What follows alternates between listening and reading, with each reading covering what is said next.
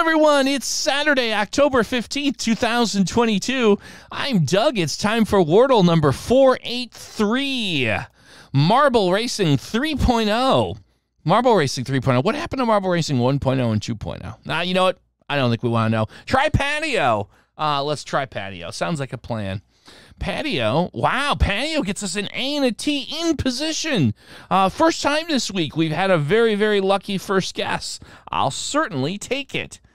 Uh, ah, so many places we could go here. How about the word batch? That immediately comes to mind. Batch, latch, match. We could have the old ATCH dilemma, as they say. Uh, you know, boy, again, I think I made this point yesterday or the other day. Sometimes you get something uh, that comes into your brain and you can't get it out. So I'm going to give service to that. Uh, let's see about the word batch. Is that the answer?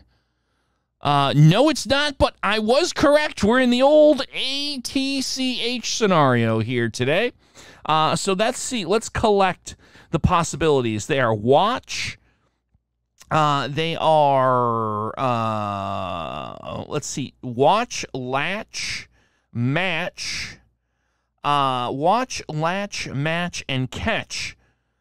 Uh, so W, L, M, and C are on the plate is potential. No, uh, four.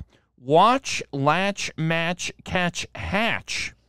So we have W. Now let's let's just do use visualization here. W L M C H. These are all possible first uh, letters. So here's uh, we're going to do an impromptu advanced Wordle strategy lesson, folks. Um, the way we do this, we only have four guesses, but we have five possibilities. We don't want to run out. So the workaround is to find an evaluation word. Uh, you know, the way I would play this is let's disregard the C and the H uh, because just putting one instance of them somewhere else in the word isn't going to necessarily uh, work unless we use them in the first spot. But if we can find a word with a W, and L, and an M in it, we can rule out or find out that one of those three is our first letter.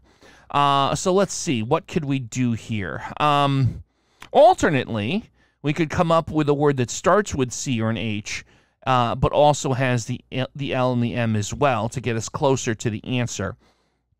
Uh, so let's see.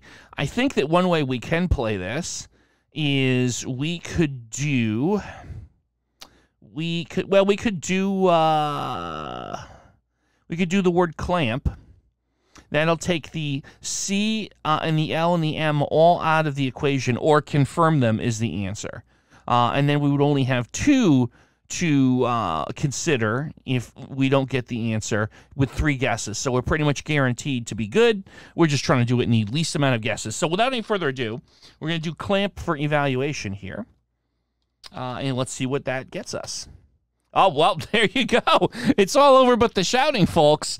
Uh, I think this might be the first time we've seen this on the Daily Wordle series where you have all of the greens in position across rows. So uh, there you go. So there was a quick tutorial. And of course, we know the answer. Uh, we'll ask it anyway, just uh, to keep appearances. Is it catch? Yes, it is. Uh, what a catch right there. Uh, so there you go. Hope we had fun with that. Uh, you'll also have fun watching this Blast of the Past. I highly encourage you to check it out. And of course, come back tomorrow for some more Wordle.